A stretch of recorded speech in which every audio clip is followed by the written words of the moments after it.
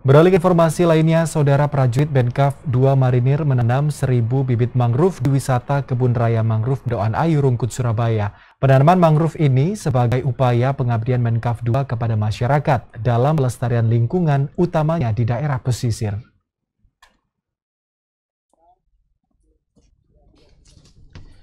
Prajurit Resimen Kavaleri Menkaf 2 Marinir menanam 1000 bibit mangrove di wisata Kebun Raya Mangrove Mendoan Ayu Rungkut Surabaya.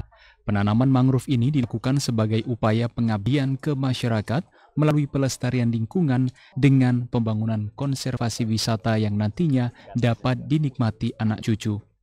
Setiap prajurit diberikan dua bibit tanaman mangrove dengan stik bambu agar bibit dapat berdiri tegak.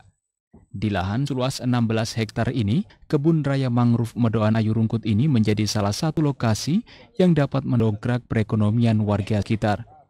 Karena beragam aktivitas perekonomian melalui wisata dapat diwujudkan. Komandan Resimen Kavaleri 2 Marinir Kolonel Marinir Kakung Priambodo menyampaikan terima kasih kepada pemerintah daerah yang sudah memfasilitasi untuk kegiatan pelestarian lingkungan. Pelaksanaan penanaman mangrove akan terus dilakukan secara berkelanjutan setiap bulan sehingga menjadi agenda rutin Menkaf 2 Marinir dalam pelestarian lingkungan selain memiliki tugas pokok kekuatan pertahanan negara. Untuk pelaksanaan hari ini kita uh, seribu bibit dan nanti akan terus kita lakukan secara berkelanjutan mungkin nanti akan kita laksanakan setiap bulan sehingga uh, kegiatan ini akan terus menjadi sebuah agenda bulanan dari uh, jajaran Resimen Kavaleri 2 Marinir. Saya selaku Komandan Resimen memberikan pemahaman kepada seluruh prajurit saya bahwa di samping kita memiliki tugas pokok sebagai kekuatan pertahanan negara, tetapi kita juga harus berkontribusi positif kepada masyarakat. Kita membantu pemerintah daerah, apalagi dengan situasi global warming, cuaca yang tidak menentu, menanam mangrove menanam pohon adalah salah satu solusi yang mungkin nanti bisa mengatasi itu. Di area kebun raya mangrove Medoan Ayu Rungkut dengan luasan 16 hektar ini memiliki 52 koleksi jenis tanaman mangrove.